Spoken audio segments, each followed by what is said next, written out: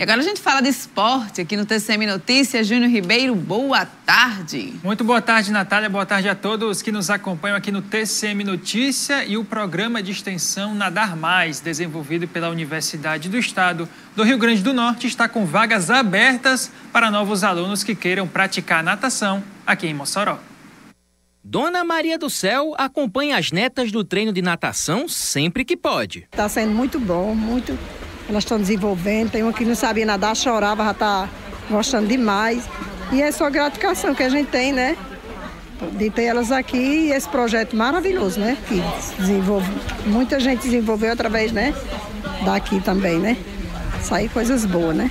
Andresa descobriu o projeto através de um vizinho e matriculou a filha para participar dos treinos. Todo treino, quarta e sexta, sempre estou aqui. E o que é que você acha? Você acha que, que, que isso é bom para ela? O que é que você acha do projeto?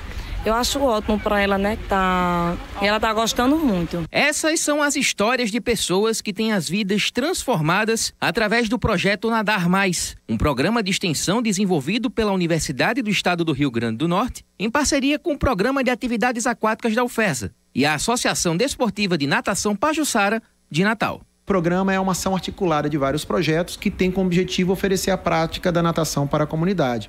Aqui na UERN, o programa ele oferece aulas de natação para crianças a partir dos 8 anos e aí entra jovens, adultos, idosos, não tem limite a partir dessa idade para começar a fazer natação aqui conosco. Desde a criação do projeto em 2019, o Nadar Mais já atendeu cerca de 800 pessoas.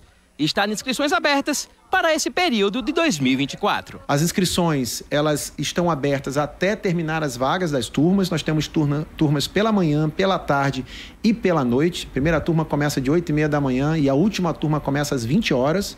E esse trabalho é fruto de, um, de uma ação coletiva entre professores, né, é, e estudantes de educação física. As inscrições do público geral podem ser realizadas através do Instagram do Laboratório de Avaliação do Desempenho Aquático da UERN. Já as inscrições de alunos da rede pública de ensino e membros da comunidade acadêmica podem ser feitas presencialmente no prédio do projeto no campus central.